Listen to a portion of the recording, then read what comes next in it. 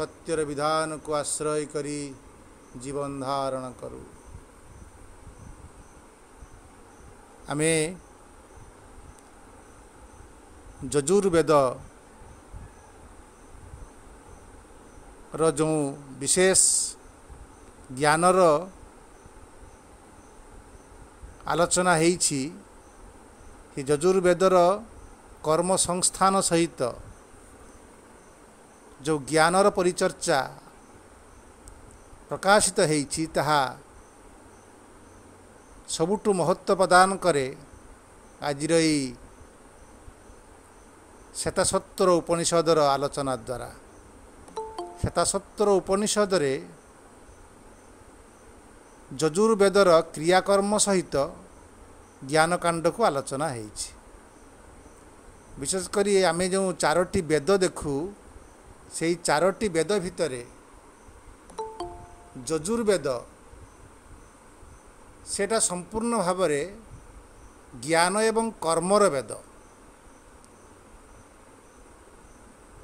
ଆମ ଋକ୍ ବେଦର ହେଉଛି ସମ୍ପୂର୍ଣ୍ଣ ଜ୍ଞାନର ବେଦ ସେଠି କେବଳ ମନ୍ତ୍ର ରହିଛି।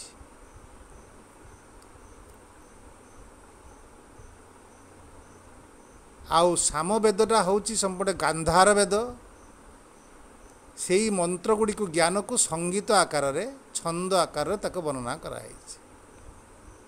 ସେଇଥିପାଇଁ ଋକ୍ ବେଦକୁ ସାମବେଦ ଦ୍ୱାରା ଯଦି ଅଧ୍ୟୟନ କରାଯାଏ ବା ସାମବେଦର ଛନ୍ଦ ଦ୍ୱାରା ଋକ୍ ବେଦକୁ ଅଧ୍ୟୟନ କଲେ ସେ ବେଦର ଯେଉଁ ଶ୍ରୁତିମଧୁର ବା ବେଦର ଯେଉଁ ରୁଚିପୂର୍ଣ୍ଣ କଳାଟାକୁ ଆମେ ପଢ଼ିବା ଏବଂ ତା ଦ୍ୱାରା ଆନନ୍ଦ ପ୍ରାପ୍ତ ହେବ ଶରୀର। କିନ୍ତୁ ବେଦର ସମସ୍ତ କ୍ରିୟା ସମ୍ପୂର୍ଣ୍ଣ ଯଜୁର୍ବେଦ ଦ୍ୱାରା ଆଲୋଚନା ଯେତେ ଯଜ୍ଞ ଯେତେ ପ୍ରକାର କ୍ରିୟାର ଧାରା ଏବଂ ଠିକ୍ ଭୁଲର ବିଚାର ଏସବୁ କିଛି ଜ୍ଞାନ ଏବଂ ଅଜ୍ଞାନର ଆଲୋଚନା ଏସବୁ କଥା ଯଜୁର୍ବେଦରେ ହେଇଛି ସେଥିପାଇଁ ଯଜୁର୍ବେଦ ଏତେ ଛନ୍ଦଯୁକ୍ତ ବେଦ ନୁହଁ। ସେଟା ଗଦ୍ୟ ଆକାରରେ ବେଶୀ ରଚନା କରାହେଇଛି। ତେଣୁ ଯଜୁର୍ବେଦ ସମସ୍ତ ବେଦ ତା ଭିତରେ ଜ୍ଞାନ ଭାବରେ ଏବଂ କର୍ମ ଭାବରେ ବିଦ୍ୟମାନ ରହିଛି। ସେଥିପାଇଁ ଯଜୁର୍ବେଦର ଆମେ ଦୁଇଟା ଉପନିଷଦ ତା ଦ୍ୱାରା ପଢ଼ୁ ଗୋଟେ ହେଉଛି କଠୋ ଉପନିଷଦ ଏବଂ ଆଉ ସେଟା ସତ୍ୱର ଉପନିଷଦ କୃଷ୍ଣ ଯଜୁର୍ବେଦ। ଏବଂ ଏହି ଶ୍ଵେତାସତ୍ୱର ଉପନିଷଦରେ ଆମେ ପ୍ରଥମର ଗୋଟିଏ ପ୍ରଶ୍ନକୁ ନେଇ ବ୍ରହ୍ମବିଦ ଋଷିମାନେ ଏକତା ଏକାଠି ହେଇଛନ୍ତି ଏବଂ ଗୋଟିଏ ପ୍ରଶ୍ନକୁ ନେଇ କେତୋଟି ପ୍ରଶ୍ନକୁ ନେଇ ସେମାନେ ପରସ୍ପର ଭିତରେ ଆଲୋଚନା କରିଛନ୍ତି ଏବଂ ବହୁ ଦର୍ଶନ ବହୁ ତର୍କ ବିତର୍କକୁ ତା ଭିତରକୁ ନେଇଛନ୍ତି ନେଇକିରି ସେମାନେ କେଉଁଟା ଠିକ୍ କେଉଁଟା ଭୁଲକୁ ବିଚାରକୁ ନ ନେଇ ସେମାନେ ସମବେତ ଭାବରେ ସେ ମୂଳ ଶକ୍ତିକୁ ଅନୁଭବ କରିବା ପାଇଁ ମୂଳ ଜ୍ଞାନକୁ ଅନୁଭବ କରିବା ପାଇଁ ସେମାନେ ଧ୍ୟାନସ୍ଥ ହେଇଛନ୍ତି। ତର୍କ ବିତର୍କକୁ ବିତର୍କର ଉର୍ଦ୍ଧ୍ୱକୁ ଯାଇଛନ୍ତି ଜ୍ଞାନ ଅଜ୍ଞାନର ଉର୍ଦ୍ଧ୍ୱକୁ ଯାଇଛନ୍ତି ସମ୍ପୂର୍ଣ୍ଣ ଶାନ୍ତ ହେଇକି ଯେତେବେଳେ ଧ୍ୟାନସ୍ଥ ହେଇଛନ୍ତି ସେତେବେଳେ ସେ ଧ୍ୟାନର ଶକ୍ତି ଦ୍ୱାରା ଏକାତ୍ମତାର ଶକ୍ତି ଦ୍ୱାରା ସେମାନେ ଅନ୍ତର୍ନିହିତ ବିଦ୍ୟାକୁ ପରମ ବିଦ୍ୟା ଭିତରକୁ ପ୍ରବେଶ କରିଛନ୍ତି ସମବେତ ଭାବରେ। ତାପରେ ଯାହା ଦେଖିଛନ୍ତି ତାକୁ ଏଠି ଆଲୋଚନା କରିଛନ୍ତି। ଆମେ ପ୍ରାୟ ଛଅଟି ପ୍ରଶ୍ନ ସେଠି ଆଲୋଚନା କରାଯାଇଥିଲା। ପ୍ରଶ୍ନ ପଚରା ହେଇଥିଲା ପରସ୍ପର ଭିତରେ ଆଲୋଚନା ହେଇଥିଲା ଯେ କିଂ କାରଣ ବ୍ରହ୍ମକୃତ? ଯେ ଜଗତର କାରଣ ବ୍ରହ୍ମ କି? ଦ୍ୱିତୀୟ ପ୍ରଶ୍ନ ଥିଲା କହ ଅସ୍ମଜାତା ଆମେ ଯେଉଁ ଜନ୍ମ ହେଇଛୁ ଆମେ କେଉଁଠୁ ଆସିଛୁ? କସ୍ମଜାତା ଜୀବାମ କେନ କାହା ଦ୍ୱାରା ଆମେ ଏଠି ବଞ୍ଚି ଜୀବନ ଧାରଣ କରିଛୁ? କୋଚ ପ୍ରତିଷ୍ଠା। କିଏ ଆମକୁ ଏଠି ପ୍ରତିଷ୍ଠିତ କରାଇଛି? ଅର୍ଥାତ୍ ଆମେ ଯେତେବେଳେ ମୃତ୍ୟୁବରଣ କରୁଛୁ ଅବ୍ୟକ୍ତ ହେଇଯାଉଛୁ ବ୍ୟକ୍ତ ବେଳେ କେମିତି ବ୍ୟକ୍ତ ହେଇଛୁ ସେ ପ୍ରଶ୍ନ ହେଇଛି? ଯେ କେମିତି ଆମେ ଏଠି ଜନ୍ମ ଲାଭ କରିଛୁ ଏବଂ ଜିଇଁଛୁ? କୋଚ ପ୍ରତିଷ୍ଠା। ହେବ ଯେତେବେଳେ ଅବ୍ୟକ୍ତ ହେଇଯାଉଛୁ ଅର୍ଥାৎ ମୃତ୍ୟୁବରଣ କରୁଛୁ ଜନ୍ମ ହେବା ପୂର୍ବରୁ କେଉଁଠି ଆମେ ଥିଲୁ? କେଉଁଠି ପ୍ରତିଷ୍ଠିତ ହେଇକି ଥିଲୁ ଅଧିଷ୍ଠାତା କେନ ସୁଖ ଦୁଃଖ ସୁଖତରୀଷୁ କାହାର ପରିଚାଳନାରେ ଆମେ ସୁଖ ଦୁଃଖକୁ ପ୍ରାପ୍ତ କରୁ ଏ ସୁଖ ଦୁଃଖର କାରଣ କିଏ ବ୍ରହ୍ମବିଦ ବ୍ୟବସ୍ଥା ଏଇ ବ୍ରହ୍ମବିଦ ମାନେ ଏଇ କଥାକୁ ଆଲୋଚନା କରୁଛନ୍ତି ଏସବୁ ବ୍ୟବସ୍ଥା କିଏ କରିଛି କିଏ ସବୁ କଥା ପରିଚାଳନା କରୁଛନ୍ତି? ଏଇ କଥାକୁ ଯେତେବେଳେ ତାଙ୍କ ଭିତରେ ପ୍ରଶ୍ନ ଆସିଛି ସେତେବେଳେ ଏଇ ପ୍ରଶ୍ନକୁ ନେଇ ବିଭିନ୍ନ ବ୍ୟକ୍ତି ବିଭିନ୍ନ ପ୍ରକାରର ଆଲୋଚନା କରିଛନ୍ତି। କିଏ କହିଛନ୍ତି ଯେ କାଳ ଏ କାଳ ଦ୍ୱାରା ଆମେ ଆସିଛୁ କାଳ ହିଁ ଜଗତକୁ ସୃଷ୍ଟି କରିଛି। ଆମେ ଅନେକ ସମୟରେ ବି କହୁ ଯେ ସମୟ ଆସିଲେ ସବୁ କଥା ହେଇଯିବ। ସମୟ ନ ଆସିବା ପର୍ଯ୍ୟନ୍ତ କିଛି ହେବନି। ତେଣୁ କାଳ ହିଁ ସବୁ କିଛି କଥା କରୁଛି। କାଳର ଅଧୀନରେ ଜଗତ ସେ କଥା କହିକି ଆମେ କାଳଟାକୁ ଦୋଷ ଦେଉ। ତାକୁ କିଏ କହୁଛନ୍ତି? ସ୍ୱଭାବ। ଯେ ଏଇ ପ୍ରକୃତିର ଅନ୍ତର୍ନିହିତ ପ୍ରକୃତି ଭିତରେ ଅଛି। ସେ ପ୍ରକୃତି ହିଁ ଏ ସବୁ କିଛି ସବୁ କିଛିର କାରଣ କିଏ କହିଛନ୍ତି ନିୟତି ଭାଗ୍ୟ ଯେ ଗୋଟେ ପ୍ରକାରର କିଏ ପ୍ରକୃତି ପ୍ରକୃତିଗତ ଶକ୍ତି ରହିଛି ଯିଏକି ସବୁକିଛି ନିୟମ କରିଛି ଏବଂ ସେ ଭାଗ୍ୟଟାକୁ ଶ୍ରୀ ଅରବିନ୍ଦ ସୁନ୍ଦର ଭାବରେ ଆଲୋକ କରିଛନ୍ତି ଯେ ଯମ ସବୁକିଛିର ନିୟନ୍ତା ତେଣୁ ସିଏ ମାନେ ସିଏ ହେଉଛନ୍ତି ଭାଗ୍ୟ ବିଧାତା ସେ ଭାଗ୍ୟ ବିଧାତା ଯାହା ଇଚ୍ଛା କରିବେ ସେଇଆ ହେବ ସେ ହିଁ ନିୟମ ନିର୍ଦ୍ଧାରଣ କରିଛନ୍ତି the lord of the universe the law of the universe ସେ ଜଗତର ନିୟମର କାରଣ ସିଏ ହେଇଥିବେ ସେ ନିୟତି। ଇଚ୍ଛା ପରମଙ୍କ ଇଚ୍ଛା ଗୋଟେ ଇଚ୍ଛା ସେଠି କାର୍ଯ୍ୟ କରୁଛି ଭୂତାନି ପଞ୍ଚମହାଭୂତ ଯେତେବେଳେ ସଂଯୋଗ ସ୍ଥାପନ କରୁଛି ଏ ଜଗତର କାରଣ ହେଇଛି ପୁରୁଷ ପୁରୁଷ ଯୋନି ଯୋନି ପୁରୁଷ ଇତି ଚିନ୍ତା ଯେ ସବୁକିଛିର କାରଣ ଯେ କାରଣର କାରଣ ଅଛି ଯେ ସେ ହିଁ ଏ ଜଗତର ସୃଷ୍ଟିର କାରଣ। ଆଉ ଜଣେ ହେଉଛନ୍ତି ବ୍ୟକ୍ତି। କିଏ ଜଣେ ଏଇ ପ୍ରକୃତିକୁ ଛାଡ଼ି ଏ ଜଗତକୁ ଛାଡ଼ି ଆଉ ଜଣେ କିଏ ଅଛନ୍ତି ସିଏ ଯେତେବେଳେ ଚିନ୍ତା କରିଛନ୍ତି ଏସବୁ କିଛି ସୃଷ୍ଟି ସମ୍ଭବ ହେଇଛି। ସଂଯୋଗ ଏସା ନତତ୍ମ ଭାବା। ଏସବୁ କାଳ ସ୍ୱଭାବ ନିୟତି ଯଦୃଚ୍ଛା ଉଚ୍ଛ ଇଚ୍ଛା ଭୂତ ପଞ୍ଚମହାଭୂତ ଜନି ଏ ସବୁ କିଛି ସଂଯୋଗ ହେଇଛି ଏ ସଂଯୋଗରେ ସବୁ କିଛି ସୃଷ୍ଟି ହେଇଛି କିନ୍ତୁ ଏସା ନତତ୍ଵ ନତ୍ୱାତ୍ମ ଭାବା କିନ୍ତୁ ଇଏ ସମସ୍ତେ ସୃଷ୍ଟିର କାରଣ ହେଇପାରିବେ ନାହିଁ ନ ଆତ୍ମଭାବା କାରଣ ଏମାନେ ସସୀମ ତତ୍ ଆତ୍ମ ଆତ୍ମ ଅନିଶ ସିଏ ତ କେବଳ ଅନିଶ ହେଇକି ରହିଛି ସେ ସସୀମ ଯେହେତୁ ଜଗତର ସୃଷ୍ଟିର କାରଣ ହେଇପାରିବ ନାହିଁ। କାରଣ କାରଣ ସେ ଅନିଶ ହେଇଥିବା ଯୋଗୁଁ ବ୍ୟକ୍ତି ସେ ସୁଖ ଦୁଃଖ ଭିତରେ କାଳତିପାତ କରୁଛି। କିନ୍ତୁ ଆତ୍ମାର ପାଖରେ ତ ସୁଖ ଦୁଃଖ ନାହିଁ। ତେଣୁ ଯିଏ ଏତେ ସୁଖ ଦୁଃଖର କାରଣ ହେଉଛି ସିଏ କେମିତି ଏସବୁର କାରଣ ହେଇପାରିବ? ତେଣୁ ଏ ଏମାନେ ଭାବିଲେ ଯେ ଏସବୁ ଯେଉଁ କଥା ଏମାନେ ନିଶ୍ଚିତ ଏ ଜଗତର କାରଣ ନୁହେଁ। ସେମାନେ ମନେ ମନେ ଭାବିଲେ କିଏ ତାହେଲେ କାରଣ? ପରସ୍ପର ଆଲୋଚନା କଲେ ଯେ ଆମେ ୟାର କାରଣ ଜାଣିବା ପାଇଁ ଆମକୁ ଧ୍ୟାନର ଯୋଗ ଅନୁସରଣ କରିବାକୁ ପଡ଼ିବ। ଅର୍ଥାତ୍ ଆମେ ଯେଉଁ ଚିନ୍ତା କରିଛୁ ଆମେ କେମିତି ଭାବନା କରିଛୁ ଆମ ବୁଦ୍ଧି ବୃତ୍ତି ମନ ଯାହା ଭାବୁଛି ସବୁ କିଛିକୁ ନିରବ କରିଦେଇ ତାର ଉର୍ଦ୍ଧ୍ୱ ଭିତରକୁ ଯିବାକୁ ପଡ଼ିବ। ଏମାନେ ବିଚାର କଲେ। ଏବଂ ସେମାନେ ତେ ଧ୍ୟାନ ଯୋଗାନୁଗତା ସେମାନେ ଧ୍ୟାନସ୍ଥ ହେଇଗଲେ। ଏବଂ ଧ୍ୟାନ ପ୍ରକ୍ରିୟା ଭିତରେ ଅପଶ୍ୟନ୍ ସେମାନେ ଦେଖିଲେ ଦେବାତ୍ମ ଶକ୍ତି ସଗୁଣଇ ନିର୍ଗୁଣାମ। ଗୋଟେ ଦେବ ଆତ୍ମଶକ୍ତି ଗୋଟେ ଚିତ୍ ଶକ୍ତି ଏ ସୂର୍ଯ୍ୟ ଗୋଟେ ସୃଷ୍ଟିକାରିଣୀ ଶକ୍ତି ଯେ ସୃଷ୍ଟିକାରିଣୀ ଶକ୍ତି ସଗୁଣେଇ ନିର୍ଗୁଣା সেই সৃষ্টিকারিণী শক্তি যে যোগমায়া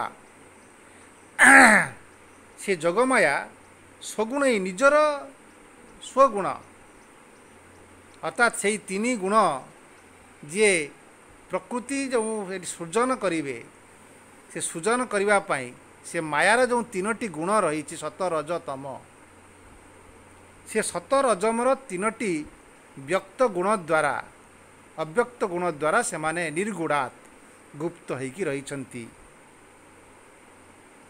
ଆବୃତ ହେଇକି ରହିଛନ୍ତି ସେଇ ଦେବାତ୍ମ ଶକ୍ତି ସେଇ ସୃଜନକାରିଣୀ ଶକ୍ତି ସେଇ ଦିବ୍ୟ ମାୟା ଆଉ ସେ ହିଁ ଏ ସୃଷ୍ଟିର କାରଣ ୟ କାରଣାନି କିଣାନି ତାନି। ସେ ହିଁ ଏ ଜଗତର ସୃଷ୍ଟିର କାରଣ। ଆଉ ସେ ହିଁ ତାନି କାଳାତ୍ମଯୁକ୍ତ।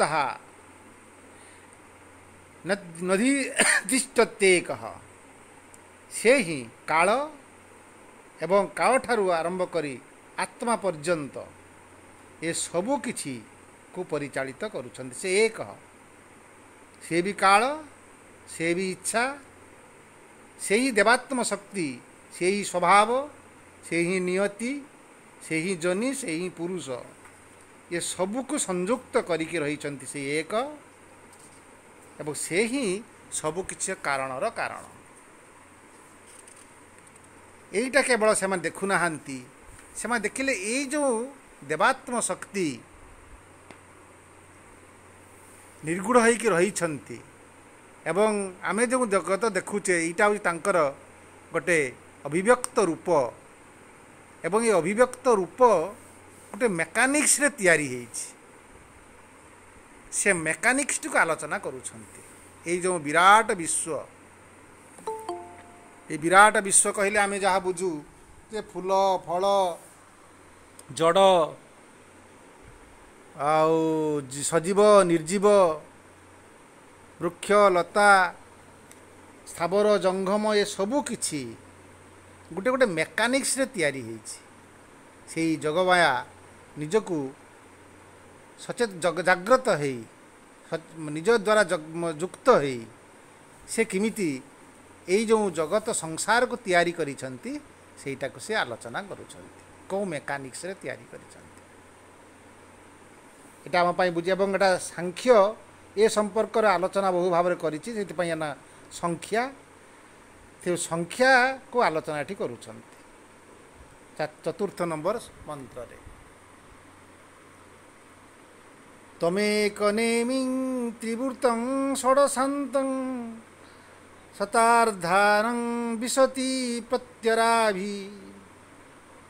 अष्टकै षडभिर्विश्वरूपैकपासं त्रिमार्गभेदं दिमिनित्येकमोहम् তম, এটি তম শব্দটি সেই পরম। সেই কসমিক, এই যে আমি দেখুছে এই যে মায়ার জগত, অর্থাৎ প্রকৃতিগত জগত, এই যে দৃশ্যমান জগত, মায়া মানে ভ্রমর জগত নুহ ମାନେ ଭ୍ରମର ଜଗତ ନୁହଁ ଏଇ ଯେଉଁ ପ୍ରକୃତି ଏଇ ଯେଉଁ ସଂସାର ଏଇ ଯେଉଁ ବିଶ୍ୱ ସେଇଟା ତମ୍ ଶବ୍ଦଟି ବ୍ୟବହାର କରିଛନ୍ତି ସେଇ ଯେଉଁ ସେଟା ଏକ ନେମିଂ ସେଟା ସେ ଗୋଟିଏ ଏଇ ଯେଉଁ ବିଶାଳ ସଂସାର ସେଇଠି ବିଶାଳ ବିଶାଳ ସଂସାରଟି ଗେଟ୍ ଗୋଟିଏ ସେଟା ହେଉଛି ନେମିଂ ଅର୍ଥାତ୍ ସେଟା ଗୋଟେ ଚକ୍ର ତାକୁ ଆମେ ସଂସାର ଚକ୍ର ବୋଲି କହିପାରିବା ତେଣୁ ସେଇ ବିଶ୍ୱଟା ହେଉଛି ତାଙ୍କର ଯେଉଁ ଏଇ ଅଭିବ୍ୟକ୍ତ ରୂପ ସେ ହେଉଛି ଏକ ନେମିଂ ଗୋଟିଏ ଚକ। ଗୋଟେ ଆମେ ଯେଉଁ ଜଗତ ଦେଖୁଛେ ଗୋଟିଏ ଚକ ବା ଗୋଟିଏ ହୁଇଲ୍। ସେଇ ଏକ ନେମିଂ ତ୍ରିବୃତ୍ତଂ।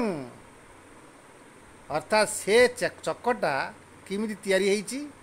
ନା ତ୍ରିବୃତ୍ତଂ ତିନୋଟି অর্থাৎ তিনটি ঘের দ্বারা সে তৈরি হয়েছে, আবৃত হয়েছে। সে তিনটি ঘের কি কি? না, সত্য রজতম তিনটি গুণ। সে তিনি, তাকে তিনটি দৌড়ি বা তিনটি বেণি হলে যেমিতি, এ তিনটি ক্ষীয় হলে যেমি গোটে বেণী হইপারিব তিনটি ক্ষীয় নেই গোটে সূতা হইপারিব সেমিতি সে তিনটি গুণ ସମ୍ମିଶ୍ରଣ କରି ତ୍ରିବୃତ୍ତ ଆବୃତ କରି ଦିନକୁ ଏକାଠି କରି ସେଇ ନେମିଂ ଅର୍ଥାତ୍ ସେଇ ଚକଟି ତିଆରି ହେଇଛି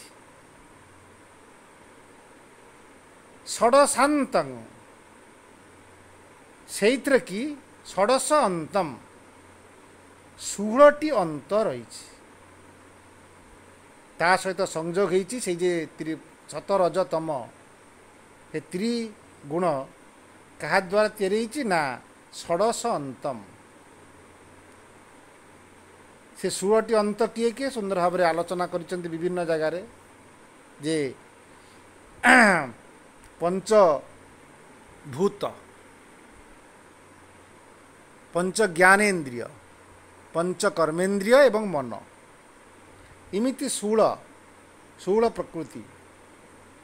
ଏ ଷୋହଳ ପ୍ରକୃତି ଦ୍ୱାରା ଏବଂ ଏ ତ୍ରିଗୁଣ ଏ ଷୋହଳ ପ୍ରକୃତିକୁ ନେଇ ସିଏ କ'ଣ କରିଛି? ଗୋଟେ ଚକଟେ ତିଆରି କରିଛି। ଯେ ଚକଟକୁ ଆମେ ଦେଖୁଛେ ସଂସାର ରୂପରେ। ସେଇ ସଂସାରରେ ଗୋଟେ ନାଭି ରହିଛି। ନାଭି କଥା ଆଲୋଚନା କରିବେ। ସେ ନାଭିଟି ହେଉଛି ସେ ନିଜେ ପରମ। ଏବଂ ସେଇ ଉପରେ ବାହାରେ ଯେଉଁ ଚକ ରହିଛି ସେ ଚକ ସହିତ ନାଭି ଯେଉଁ ଯୋଡ଼ିଛି ସେଇଟା ସେଇଟା ଗୋଟେ ଗୋଟେ ଓର ବା ଆମେ ସ୍ପୋକ୍ ବୋଲି କହୁ ଚକ୍ର ଯେମିତି ବାହାରେ ଚକ ରହିଛି ମଝିରେ ଅଖ ରହିଛି ଅଖ ଏବଂ ଚକ ଉଭୟକୁ ସଂଯୋଗ କରିଥାଏ ସିଏ ହେଉଛି ଅର। ସେଇଟା ଆଜି କେତେଟା ଅଛି ନା ଶତାର୍ଦ୍ଧାରମ୍ ଅର୍ଥାତ୍ ପଚାଶଟି। ଅର ରହିଛି।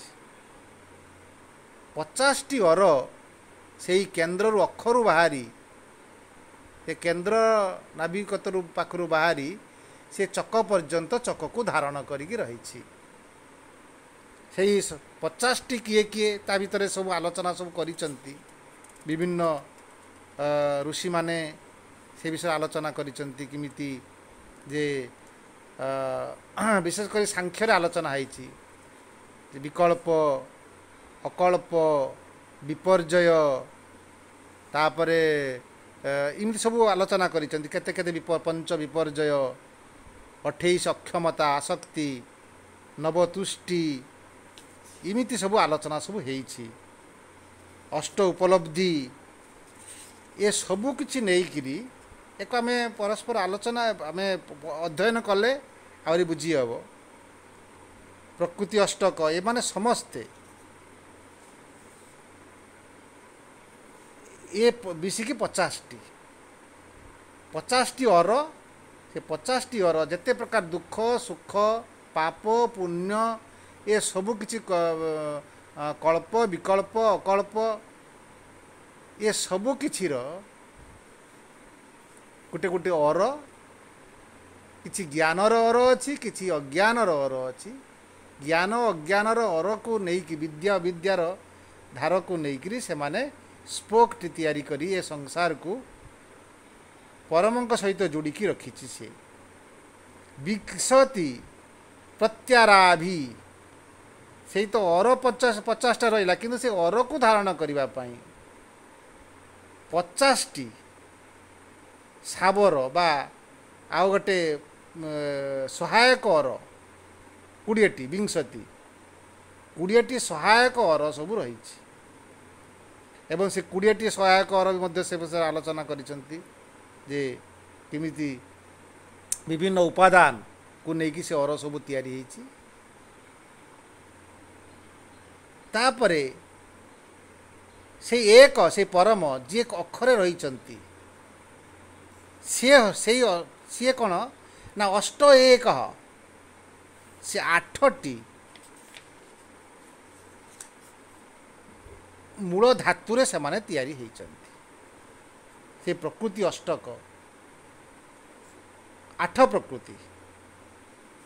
ପ୍ରକୃତି ଅଷ୍ଟକ ଧାତୁ ଅଷ୍ଟକ ଅଷ୍ଟ ସିଦ୍ଧି ଅଷ୍ଟଦେବ ଭାବ ଅଷ୍ଟକ ଗୁଣ ଅଷ୍ଟକ ଏ ସବୁକୁ ନେଇକରି ସେଇ ସେ ତିଆରି ହେଇଛି କିଏ? ନା ଏକ। ଏକ ହେଉଛି ସେଇ ଅଖ ପାଖରେ ଯିଏ ଅଛି ପର ଛୋଟ ହୁଇଲଟି ସିଏ ତିଆରି ହେଇଛି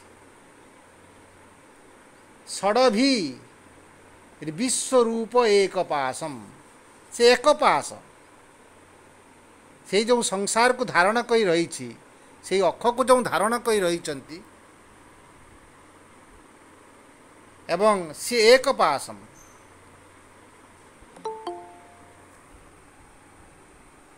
ଏବଂ ସେଠି ଯେଉଁ ଏକ ପାସଂ ତ୍ରିମାର୍ଗ ଭେଦମ୍ ଏବଂ ତିନୋଟି ମାର୍ଗକୁ ସେ ଭେଦ କରୁଛି ତିନୋଟି ମାର୍ଗ କିଏ କିଏ ସୁନ୍ଦର ଭାବରେ ଆଲୋଚନା କରିଛନ୍ତି ଯେ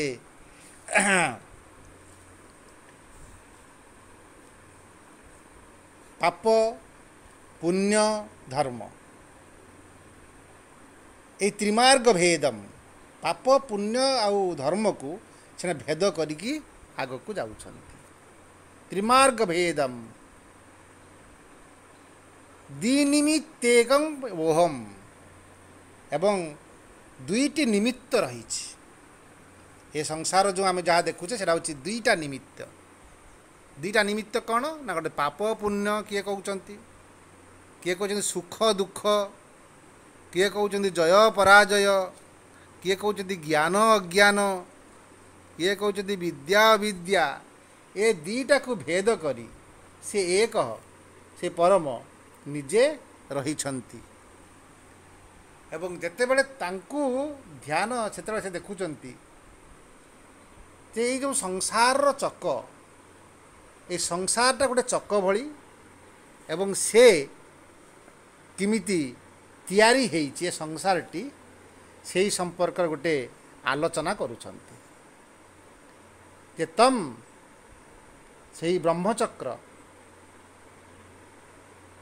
ତ୍ରିବୃତ୍ତମ ସେ କେମିତି ତିନୋଟି ଘେର ଦ୍ୱାରା ଯୁକ୍ତ ହେଇଛି ଏବଂ ତାର ଯେଉଁ ସେ ତିନୋଟି ସତ ରଜ ତମ ଏ ତିନୋଟି ବ୍ରହ୍ମଙ୍କ ତିନୋଟି ଦିବ୍ୟ ଶକ୍ତି ରୂପ ତ୍ରିଗୁଣମୟ ସିଏ କେମିତି ସଂଯୋଗ ହେଇକି ସିଏ ଏକ ସଂସାରକୁ ଏଠି ତିଆରି କରିଛି।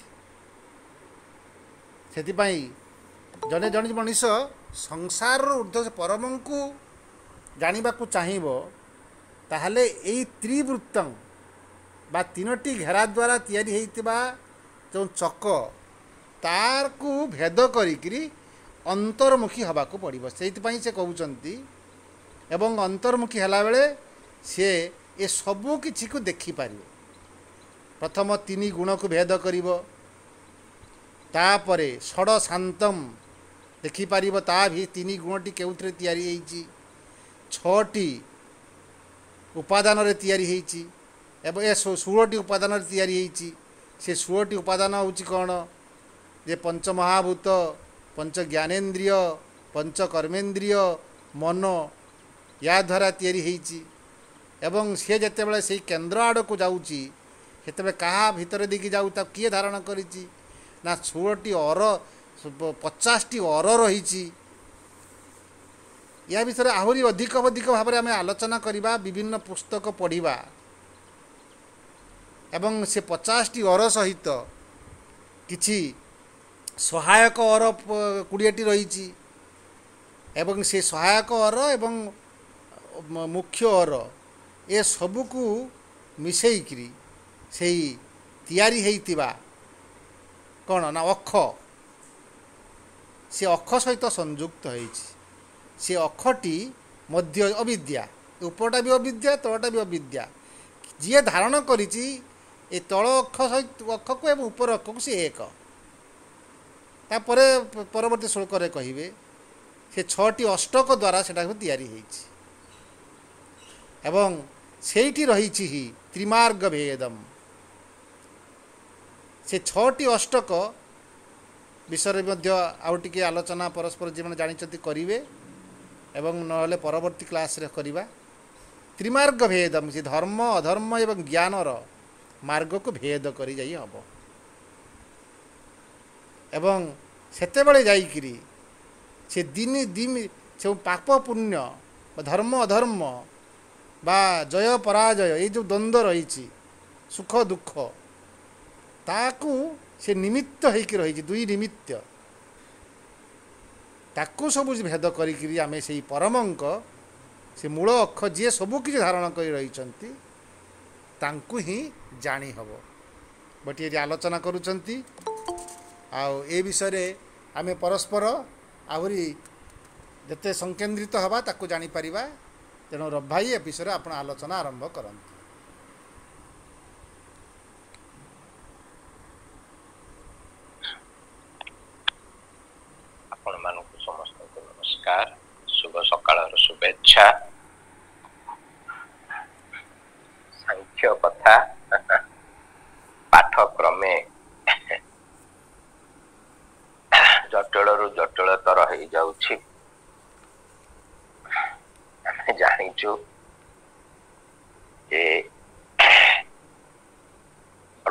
ବ୍ରହ୍ମ ଜିଜ୍ଞାସୁ ଗଣ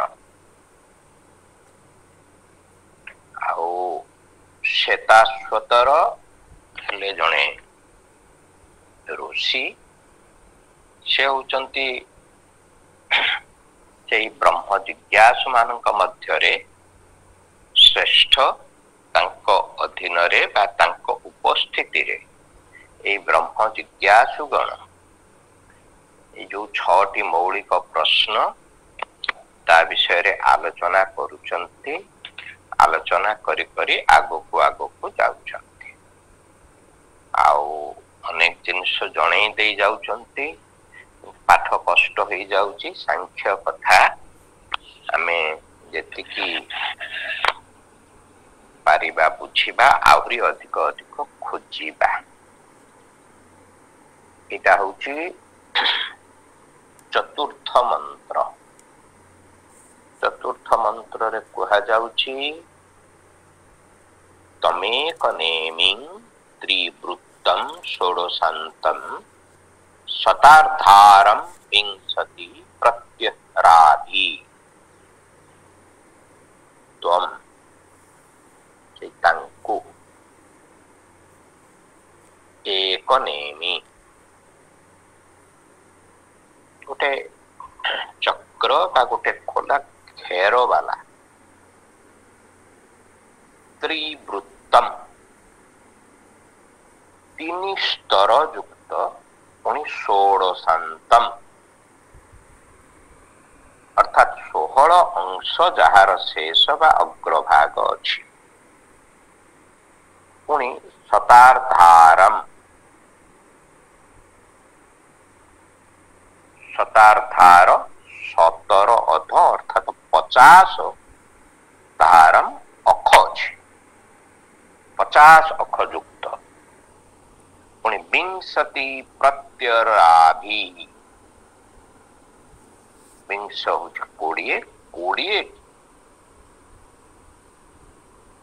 ସେ ଉପ ଅଖ ଅଛି କୋଡ଼ିଏଟି ମାନେ